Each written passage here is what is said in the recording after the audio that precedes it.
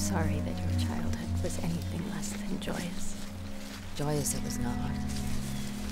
But I made my own happinesses. My husband says God puts heavy stones in your path. It's up to us to step over them. Stones are what the fortunate receive. My mother's mother was born in 1780 right here in Schoharie County. I often wonder at the courage and resourcefulness of those women.